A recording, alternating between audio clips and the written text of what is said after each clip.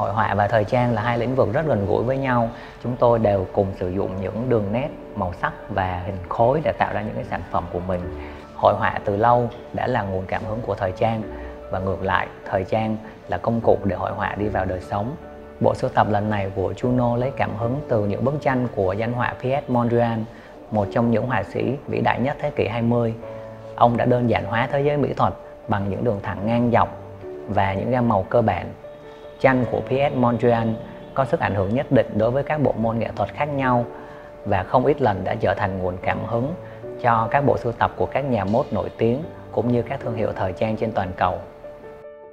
Chúng tôi chọn Mondrian làm tâm điểm của bộ sưu tập lần này không chỉ bởi vì những gam màu rực rỡ đang là xu hướng lớn của năm nay, mà còn muốn góp phần tôn vinh và lưu truyền một cái tác của thế giới.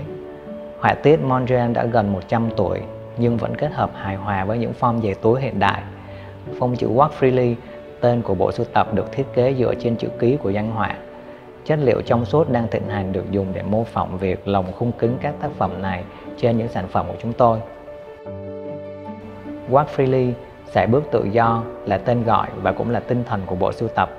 Tranh của Mondrian tuy giới hạn về chất liệu nhưng lại là tranh trừu tượng. Chúng tôi muốn cổ vũ những cô gái hãy tự tin với vẻ đẹp nguyên bản và tự do sải bước trên con đường mình chọn.